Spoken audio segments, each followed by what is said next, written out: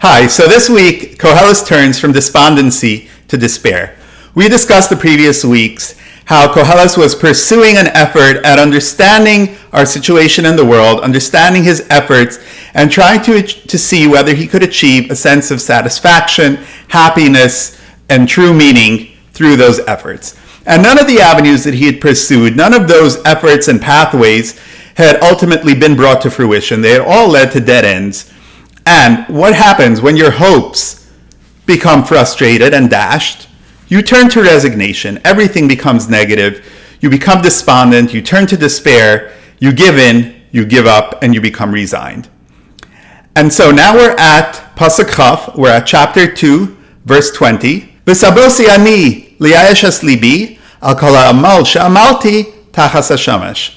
And I, I turned to despair my heart at all the effort I expended under the sun.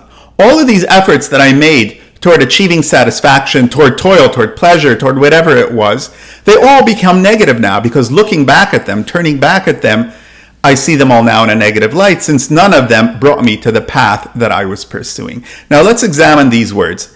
They're quite interesting. V'sabosi ani libi, and I, I turned to despair my heart. It's the I, it's the person, it's Koheles, it's the thinker who's looking back at the effort, at the examination, at the thinking itself. And those thoughts and those realizations are bringing his heart, which is his internal cognitive state, his emotional state, his thought processes and his feelings, his internal state, that's, we explained last week, that is his lev, his internal state. So it's the I who's thinking and looking back and examining what he's been doing and that is what causes his emotional state to come to despair. Visabosi is also an interesting choice of words. There's a cute word play here. There's a, a double meaning to this word, as there often is. Visabosi can mean I turned around to face, I, I turned myself around, I looked back, I rotated, I revolved. It's a physical turning. So it's Koheles looking back at his experiences, at his thoughts, at his efforts. And Visabosi can also mean I changed. And both of those things are happening here, right? Because he's looking back at his efforts and at his examination. And at the same time, that's causing him to change his feelings and his emotional and cognitive state. And so it, it, there's a double play here, um, which shows you both of these meanings.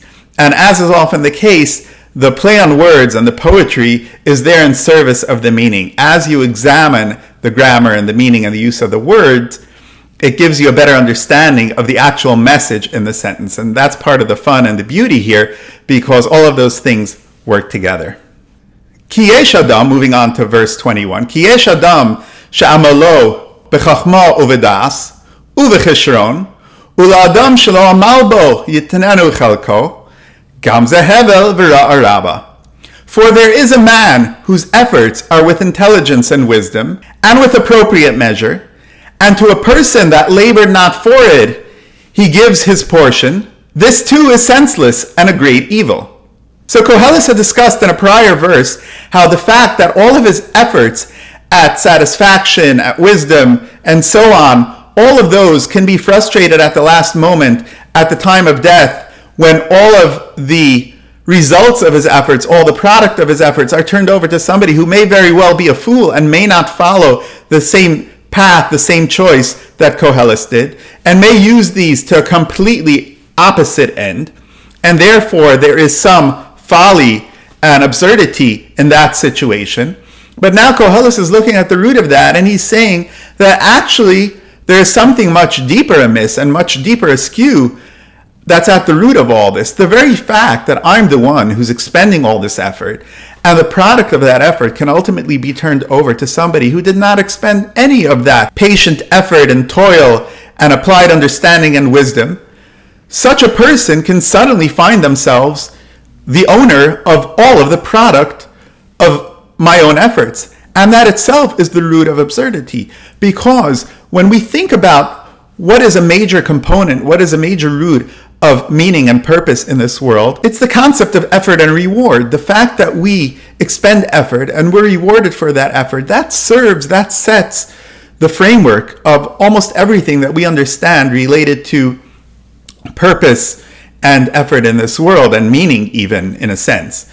And the fact that you can have one person who puts in all of this effort and puts in all of this applied toil and wisdom, and then suddenly you can have somebody else who put in none of that achieve and gain and receive everything that the first person has worked at. That is the root of much of this absurdity and senselessness. The, the fact that one person can put in all the effort and somebody else can receive all of the product of that effort, that stymies the entire sense of purpose and meaning that's at the heart of all of this uh, of all of this lifelong effort.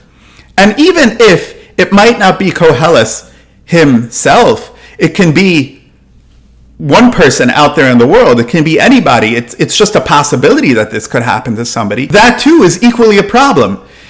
It doesn't matter that it can happen to everybody or to the person who's engaged in this pursuit. The fact that it can happen to anybody, that there's a possibility of it happening, that stymies the sense of purpose. That shows that everybody who's involved in this struggle at its root is missing some of this sense of purpose. So the fact that it can happen to anyone means that there's a sense of purposeless and meaninglessness and senselessness for everyone.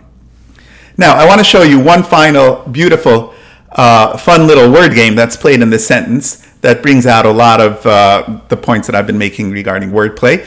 And it helps if you have a little bit of an understanding of Hebrew, but perhaps you can understand it even if you don't.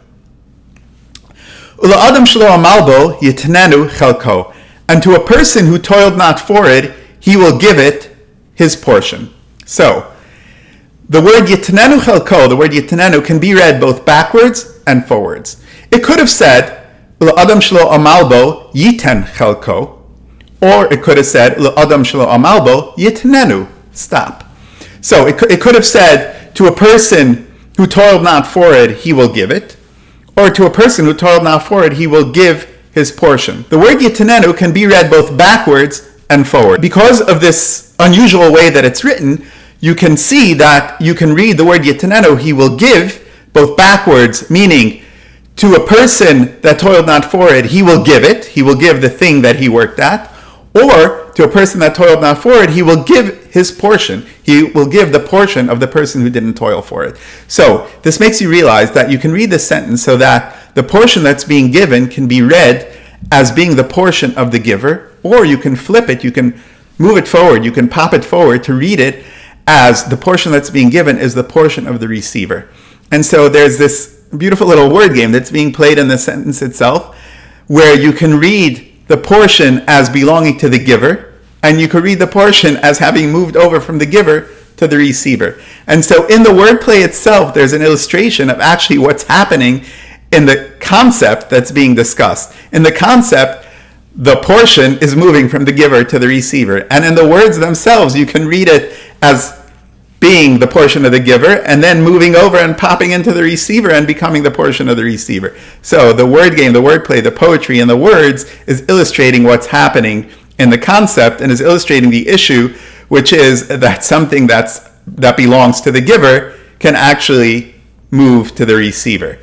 And so you can see how the wordplay and the word game is illustrating the concept that's being made in the sentence. And there are so many of these. There are these little word games and little word plays. There are more um, more meta ones. There are there are there are there are word plays in poetry that revolve around uh, the sentences and the chapters themselves, and they're very interesting. And what Koheles did here was use the words and the poetry and the expressions in such a way that he makes you think about them. He makes you think about how he wrote them. He makes you think about what they mean. He makes you realize that there are many different ways to read them. And in reading them and in understanding them and in thinking about them, you begin to understand the points that he made and the depth of those points and the various ways that he's making you think about these different points. And doing that itself helps you understand what Koheles is saying and it helps you internalize um, all of these points that he's making. I'll see you next week with more about Koheles.